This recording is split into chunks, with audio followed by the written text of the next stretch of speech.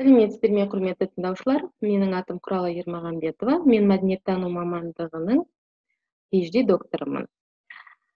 Бүгін мен күлшат медеуова бастаған қазақстандағы естелік орындар және тәжірибелер атты дәрістер кешенін жалғастырамын. Дәрістің тақырыбы қазақстанның мәдени кеңістігіндегі батырлар мен хандар ескерткіші. Батырлар мен хандар қазақ мәдениеті қазақ тарихы қазақ болмысы үшін өте маңызды орын алатын тұлғалар. Сондықтан да бүгінгі дәрістің мақсаты қазақстанның мәдени кеңістігі мен көпшілік алаңдарында орнатылған батырлар мен хандар ескерткішінің мәні мен рөлін анықтау.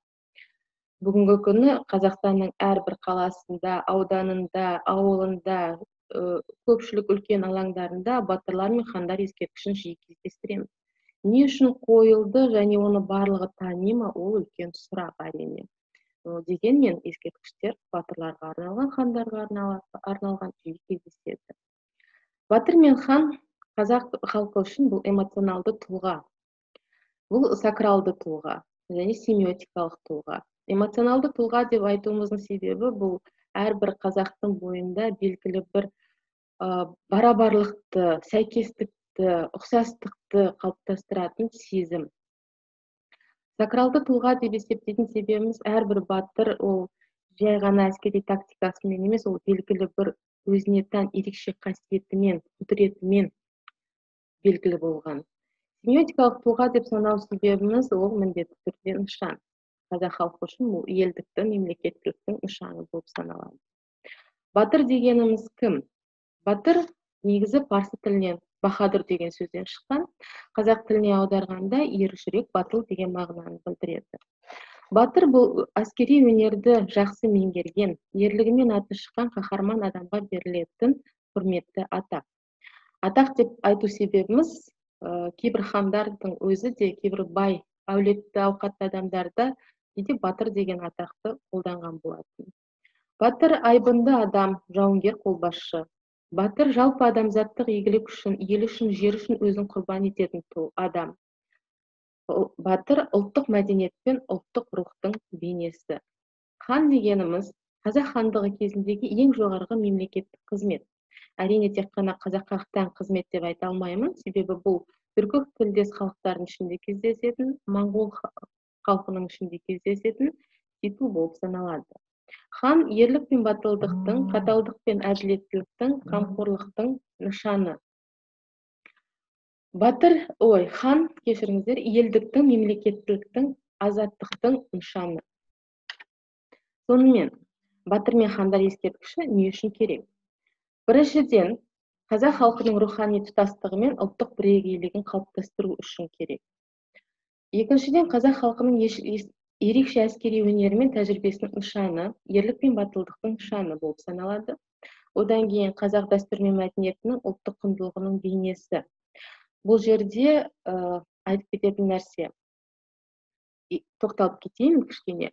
Қазақ халқының ерекше әскери өнері мен тәжірибесінің нышаны деудің себебі себебі қазақтардың өзінің әскери өнері өзінің әскери стратегиясы және әскери практикасы жақсы дамыған болады сондықтан да олардың үлкен соғыстарда жеңіске жетуіне септігін тигізген. Сондықтан батырлардың өмірбаяны арқылы батырлардың іс әрекеті арқылы осы қазіргі кезде де әскери тактиканы әскери стратегияны жетілдіруге дамытуға болады деп есептеймін. Ал енді дәстүр мен мәдениеттің ұлттық құндылықтың бейнесі деп айтуымның себебі бұл уже батырды тәрбиелеуге байланысты. Әрбір ер бала дүниеге келген кезде бір батыр дүниеге келді деп есептелінеді. Егер де байқап жүрсеңіздер қазіргі кезде де кездеседі иә? Әрбір отбасыға ұл бала дүниеге келіп жатқан кезде бір бір қазаққа бір батыр қосылды деп қазіргі кезде де бұл қолданылып жүр. Себебі ер бала келген кезде оның өзінің тәрбиелеу дәстүрі болған оны тәрбиелеу салты болған. Өзінің тәрбиелеу тәжірибесі болған. Осы тәжірибелерді ескеретін болсақ онда бұл ұлттық құндылықтың қайта жаңғыруын ұлттық дәстүрдің қайта жаңғыруын қалыптастырады. То есть жаңғыртуға мүмкіндік береді. Батырлар мен хандар ескерткіші. Әрине батыр мен хандар ескерткіші патриотизмнің нышаны. Себебі олар арқылы біз отансүйгіштікке тәрбиелейміз. Киелі орын. Киелі орын болады. Себебі батырлар мен хандар ескерткіші ол жай ғана ескерткіш емес бұл белгілі бір жоғарғы рухтың ә, белгілі бір жоғарғы тылсым күштің белгісі болып саналады. Және туристік нышан туристік нысан ретінде қарастыруымызға болады деп отырған себебім ә, әрбір халықты әрқашанда белгілі бір ұлттың мәдениеті тарихы дәстүрі салты қызықтырады. Егер де осы қызықтыру саясатына сүйенетін болсақ онда батырлар мен хандар ескерткіші арқылы батырлар мен хандардың өмірбаяны жалпы іс әрекеттері арқылы ә, біз туристерді қызықтыра алар едік. Сондықтан да батырлар мен хандар ескерткіші туристік құрал ретінде қолданыла алады. Сонымен әрқайсысына жеке тоқталатын болсам қазақ халқының рухани тұтастығы мен ұлттық бірегейлігін қалыптастырушы құралдар ретінде мен керей мен жәнібек ескерткішін және абылай хан ескерткішін қарастырамын. Керей мен жәнібек бұл қазақ хандығының хандығын қалыптастырушы тұлғалар. Керей мен жәнібек ескерткіші нұр сұлтан қаласындағы тұңғыш президент музейінің алдында орнатылған 2010 жылы ашылу салтанаты болды. Э, бұл ескерткіштің ерекшелігі бұл таза қоладан жасалған. Себебі қазақстандағы көптеген ескерткіштердің барлығы қытайда жасалған және олардың материалдары жұқа қаңылтырдан немесе жұқа тастардан жасалған болатын. Ал бұл таза қоладан құйылған ескерткіш және қазақстанда жасалған ескерткіш болып есептелінеді. Жобаның авторы ринат абенов жас мүсінші. Э, бұл мүсінді жалпы бұл ескерткішті орнатудағы басты мақсатымыз бұл. Егеменді алған қазақ елінің жалпы тарихын көрсету және мемлекеттіктің елдіктің символы болып есептелінетін тұлғаларды жалпы халыққа көрсету болып есептелінді. Одан кейінгі екінші орында тұрған ескерткіш бұл. Абылай хан ескерткіші. Абылай хан өздерің білесіздер қазақ хандығының он сегізінші ханы болып есептелінеді. Үш жүздің басын біріктіруші тұлға. Және бұл ескерткіштің да ерекшелігі қоладан жасалған. Кімнің? Абылай ханның отырған тағының сүйеніші бұл үлкен колонна үш тармақтан тұратын бір колонна біріккен колонна. Бұл колонна яғни үш жүздің бірігуін сипаттайды. Э, сонымен қатар ескерткіштің жалпы бұл жобаның авторлары мүсінші баймұханов және архитектор жұмағалиев болып есептелінеді. То есть бұл екеуі керей мен жәнібек те абылай хан да бұлар яғни ұлттық тұтастықты мемлекеттілікті елдікті насихаттайтын тұлғалар ескерткіштер болып есептелінеді. Келесі әскери өнер мен тәжірибенің батырлық пен елдіктің нышаны ретінде мен сіздерге бөгенбай батырдың ой кешіріңіздер бөгенбай батырдың қабанбай батырдың және наурызбай батырдың ескерткіштерін ұсынып отырмын. Себебі үшеуі де әскербашы болған қолбасшы болған жақсы әскери тактика мен стратегияны жасай білген және үлкен ерлікті сипаттаушы тұлғалар болып есептелінеді. Келесі. Батырлар мен хандар ескерткіші киелі орын ретінде қарастырылады. Жаңа ғана айтып кеткен болатынмын батырлар мен хандар ол жай ғана тұлғалар емес а именно олардың бойында белгілі бір жоғарғы қасиеті бар бір құдіреттілікті білдірген тұлғалар болып есептелінеді. Алматы қаласында орналасқан райымбек батыр кесенесі. Райымбек батыр жай ғана батыр болған жоқ. Райымбек батыр туралы аңызда айтылады. Өзінің атын өзі шақырған деп. Ай райымбек райымбек деп атаған кезде ол кенеттен қайдан белгісіз әйтеуір кенеттен пайда болған. Және үлкен сулардан үлкен адасу жолдарынан осы райымбек батыр алып шығып отырған екен. Сондықтан да райымбек батыр кесенесі ұзақ жылдар бойы бүгінгі күнге дейін бұл зиярат ету орны болып есептелінеді. Келушілер өте көп және райымбек батырдың қылышы түскен жерде бұлақ шыққан деген аңыз бар. Сол аңызға, аңызға сәйкес осы кесененің алдында қылыш формасында салынған ескерткіш тұр сол ескерткіштің түбінен шынымен де таза су шығып жатыр. Сол суды ішетіндер де бар сол суға шомылатындар да бар яғни адамның бойындағы осы райымбектен жалбарынып сұрау күш сұрау құдірет сұрау көмек сұрау әлі күнге дейін бар. Келесі орында тұрған бұл қарасай батыр мен ағынтай батыр кесенесі.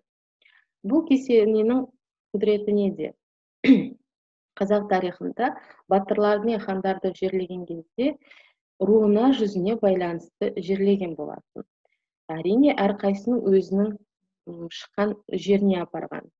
Ал бұл екі батырдың кесенесі нейтралды кеңістікте орналасқан және екі қарасай батыр ұлы жүздің батыры болып есептелсе ағынтай батыр орта жүздің батыры. Бірақ екеуінің ерекшелігі неде екеуінің достығы. Екеуі қанша бөлек жүзден болса да бірақ екеуінің басы бір бір, бір болған жақын дос болған және әрбір күресте соғыста бір бірін қорғап қалған. Сондықтан да бұл кесене жай ғана киелі орын емес бұл достықтың символы болып есептелінеді. Бүгінгі күнде кездесетін тәжірибе бұл жерге достар ант беруге барады. Достар ант беруге болады мысалы райымбек батырдың кесенесіне және үшінші суретте тұрған қабанбай батырдың кесенесіне ер бала дүниеге келген кезде сол жерде бата алуға барады. Яғни ер баланың бойында бір батырлық ерлік қалыптассын деп. Ал қарасай мен ағынтай батырдың кесенесіне енді бақылауым бойынша және сол жердегі адамдардан сұрастыруым бойынша бұл жерде көбінесе сол достықтың символы ретінде достық антын беруге барады деп айтады. Келесі. Батырлар бізде ә, кейбіреулерін біз шынайы батырлар деп есептесек бірақ әлі де болса дәлелден шынайы өмір сүргені дәлелденбеген аттары аңызға айналған батырлар да кездеседі. Бұл батырлар алпамыс батыр және қобыланды батыр. Бұлар аңыз ертегі мәліметтері арқылы бізге белгілі. Келесі. Батырлар мен хандар ескерткіші қалай бейнеленеді?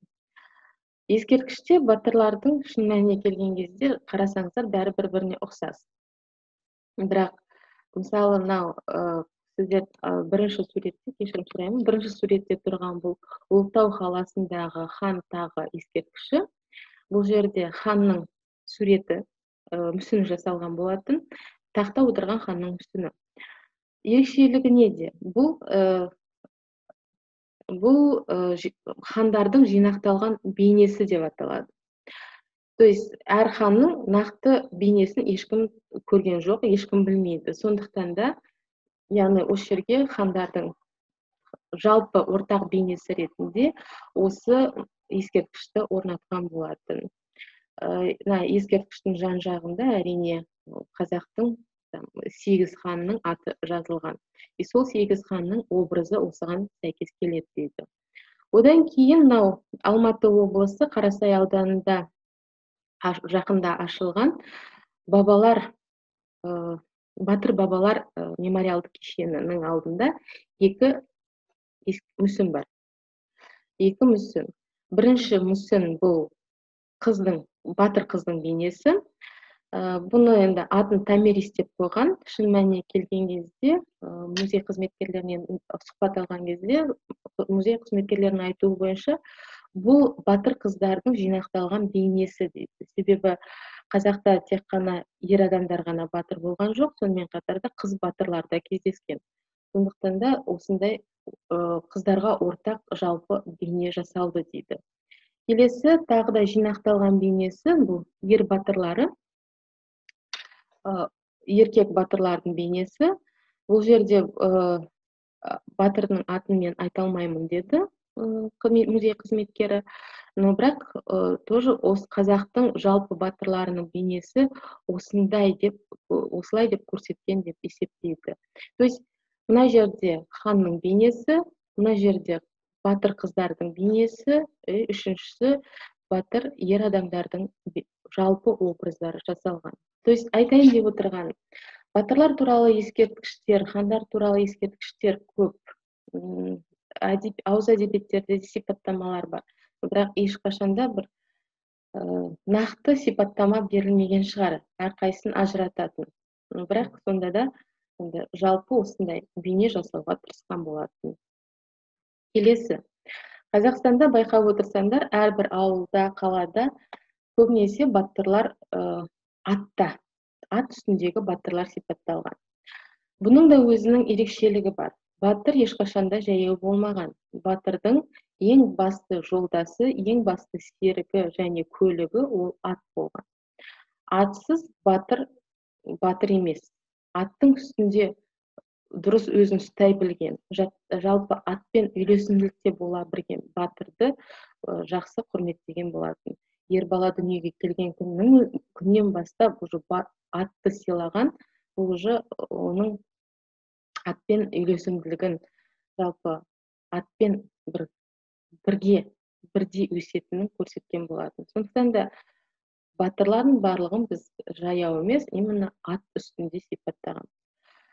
Тағы да бір айтып кететін нәрсе ә, батырлардың ә, аттарының өзінің ат ә, есімдері болған. Ә, және ә, сол есімдері арқылы ә, бат, ә, батырдың аты менен есімде, есі, есімі және батырдың есімі бір бірімен сәйкес келіп те тұрған болатын. Кешірім сұраймын кемшіліктерім үшін сонымен батырлар мен хандар ескерткішін кімдер орнатады және кімдер қаржыландырады?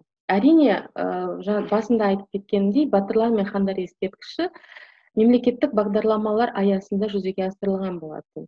Ең бірінші мемлекеттік бағдарлама осы батырлар мен хандар ескерткішінің жаңғыртылуына қайтадан қойылуына септігін тигізген. Бұл 2004 жылы жүзеге асырылған мемлекеттік бағдарлама мәдени мұра деп аталады. Келесі одан кейін үлкен яғни батырлар мен хандар ескерткішінің кеңінен қойыла бастауына септігін тигізген. Бұл 2015 жылы атап өтілген қазақ хандығының 550 жылдық мерейтойы мерейтойы то есть бұл мерейтойдың аясында қазақстанның яғни тараз қаласында ұлытауда батырлар ескерткіші хандар ескерткіші орнатыла бастады. Одан кейін әрине мемлекет қаржыландырады. Екіншіден қалалық әкімшіліктер өз тарапынан қаржыландырған болатын батырлар ескерткіші мен хандар ескерткішін аудандық әкімшілік қаржыландырды. Сонымен қатар бизнесмендер мен кәсіпкерлер де батырлар мен хандар ескерткішінің орнатылуына септігін тигізді. Біріншіден неге бизнесмендер. Себебі бұлар яғни бизнесмендер мен жеке кәсіпкерлер яғни елге бір сый құрмет ретінде тартқан болатын. Одан кейін отбасылық қаржы дейміз. Отбасы тарапынан батырлар ескерткішін қою қазіргі кезде де көрініс алып отыр. Себебі әр отбасының өзінің ата бабасын яғни шежіресін зерттей келген кезде ол міндетті түрде белгілі бір батырдың ұрпағы болып табылады. Сондықтан сол ата бабасына тағзым ретінде осындай батырлар ескерткіші де пайда болды. Және рулық қаржылық қаржыландыру. Қазақта рулық бөлініс ешқашан жойылмайды. Себебі бұл маңызды маңызды бір бөлік деп есептеймін. Сондықтан да рулар қазіргі кезде өзінің батырларына арналған ескерткіштерді орнату жиі кездеседі. Рулар тарапынан бұндай ескерткіштер өте көп. Мысалы болсақ қарағанды облысында шет ауданында орналасқан көптеген батырлар бұл арғын арғыннан шыққан батырларға арналған ескерткіштердің қойылуы. Мұндайды жиі кездестіруге болады. Сонымен құрметті көрермендер мен бүгінгі дәрісімді шолу ретінде жасадым. Қателіктерім болса осы астындағы пікірлеріңізді жазасыздар. Егер де басқа батырларға қатысты ұсыныстарыңыз болса тоже астындағы пікірлерге жазуларыңызға болады. Мен қуанышты боламын. Үлкен рахмет тыңдағандарыңызға сау болыңыздар.